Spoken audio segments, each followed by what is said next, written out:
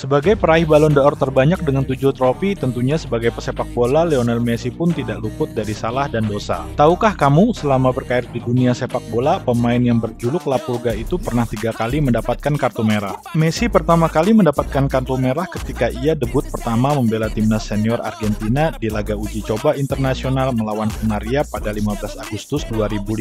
Saat itu ia masuk menggantikan Lisandro Lopez dan baru berjalan 47 detik Messi diusir wasit setelah dianggap dianggap memukul leher Vilmos Panzak. Kartu merah kedua Messi ia dapatkan saat Argentina menghadapi Chile dalam laga perebutan tempat ketiga Copa America 2019.